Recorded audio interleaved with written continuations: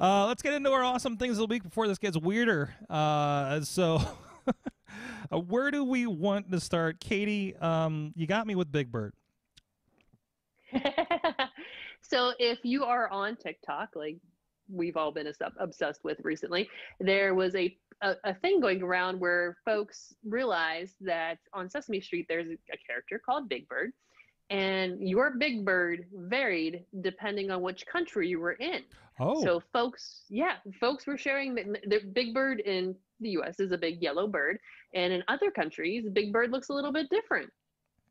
So this was what? a thing going around on TikTok. Yeah, this is absolutely wild. And so like depending on the country your big bird looks a little bit different and has a different name. So what's really cool is Sesame Street took Big Bird's Twitter account and had Big Bird introduce his cousins from around the world, which is really, hmm. really cute. and they also happen to share the same name. Yes. Uh, it's very. well, actually, the, the, the, there's different ones. There's there's uh so there's Little Bird, um, and then there's uh, uh Pal- Palpus from Portugal. Uh, there's uh, Minukus from Turkey. A big bird from Turkey, yes. Oh, I like that one. Oh, that's yeah. That's not that's not a bird at all. That's somebody else. oh, are we going to talk about Kippy the porcupine? Are we? Sorry, I don't know. Uh, uh, somebody said, "Are we going to talk about your Israeli cousin Kippy the porcupine?" so, um, then it gets a little weird with dinosaurs. But uh, no, this was fun. This is fun. Yeah, so. so. this was I loved. I I think my favorite. Well, besides being Big Bird, and I love a lot of things that Sesame Street has done.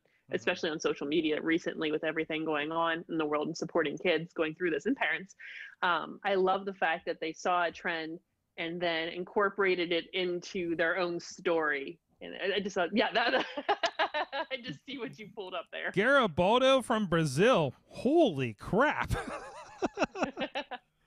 what, what he's seen he's had a day. Uh Wow, it's like yeah. their own. It's like their own. Um, uh, uh, who's the uh, who's the Philadelphia mascot?